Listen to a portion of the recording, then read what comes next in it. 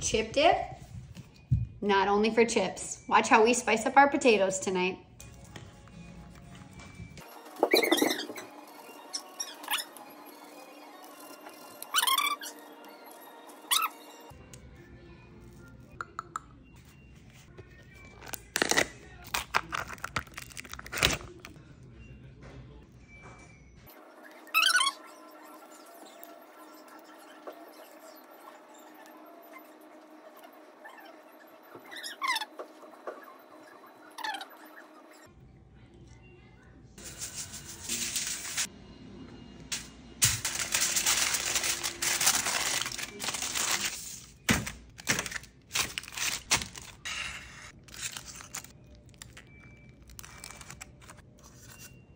These potatoes, they're lights out.